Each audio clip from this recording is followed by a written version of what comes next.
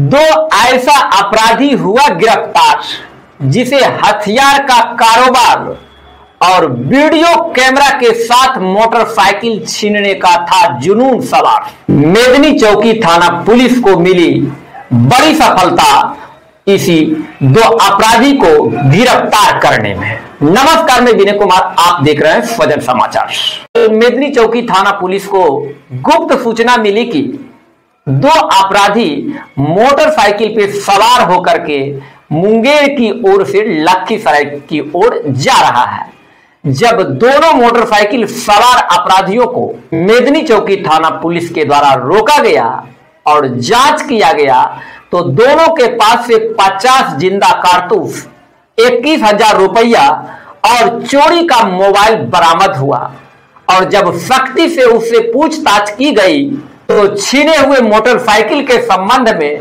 और चोरी किए हुए वीडियो कैमरा के संबंध में भी बताया और चिन्हित स्थानों से छीना हुआ दो मोटरसाइकिल और वीडियो कैमरा भी हुआ बरामद।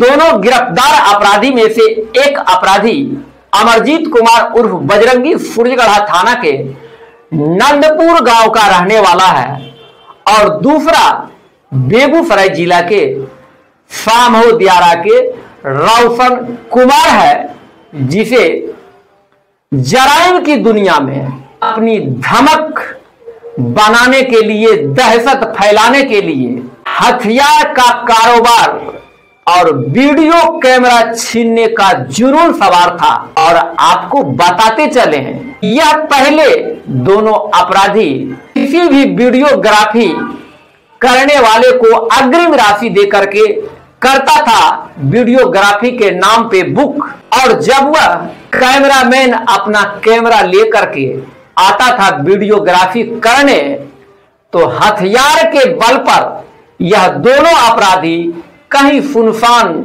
जगह नदी कान्ही किनारे ले जा करके कैमरा, मोटरसाइकिल और उसका कैश लेता था लूट।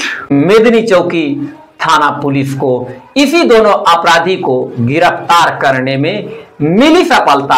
आप सुने कि लखीसराय के एएसपी रोशन कुमार क्या कुछ कह रहे हैं प्रेस कॉन्फ्रेंस में?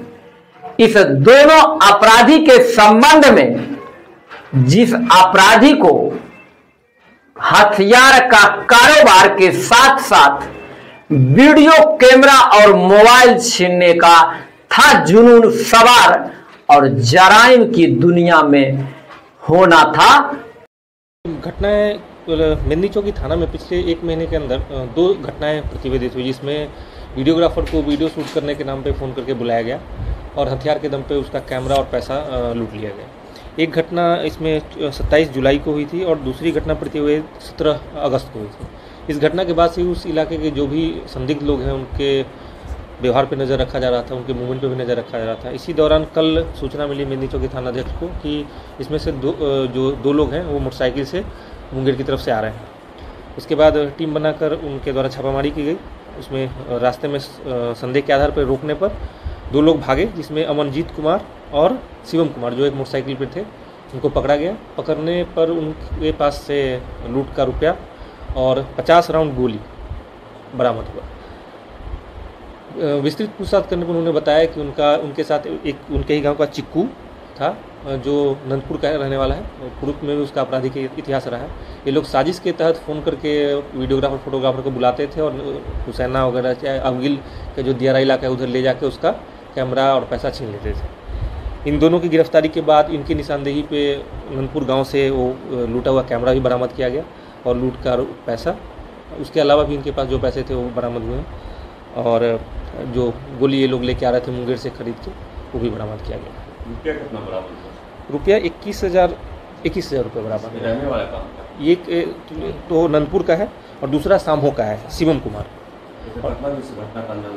ये घ- दो घटना प्रतिवेदित हुई है एक जुलाई में सत्ताईस जुलाई को और एक सत्रह अगस्त को। आपराधिक इतिहास आपराधिक इतिहास है तो इस दोनों का आपराधिक इतिहास है। तो ये जो कैमरा बरामद हुआ सर ये सत्रह अगस्त को जो लूट नहीं ये जो हाँ ये लेटेस्ट जो लूट हुआ था सत्रह अगस्त उसमें लूट हुआ कैमरा बरामद पहले जो घटना को अंजाम दिए पूछताछ में कुछ बताया कि कहाँ कैमरा इन्होंने बेचा है क्या कुछ किया कैमरा छुपा के रखा गया था उसमें जो कैमरा छुपा के रखा वो चिकू कुमार लेके गायब हुआ है।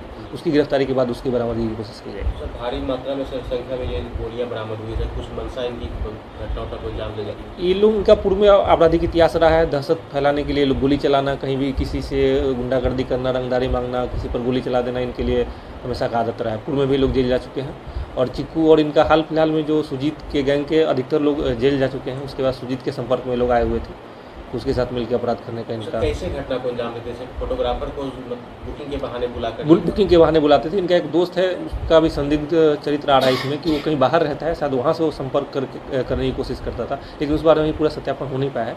होने के बाद इसमें आगे महिला की भी बात आ रही थी महिला भी इसके गैंग में शामिल नहीं अभी इस तरह का कोई डायरेक्ट एविडेंस किसी के खिलाफ नहीं आया है। ऐसा कुछ आएगा तो बताएँगे। जैसे गोलियाँ कहाँ से लाता गोली मुंगेर से लेके आ रहा था। मुंगेर में एक जगह चिन्हित किया गया जहाँ से लेके आ रहा था। वहाँ हम लोग का नज़र है।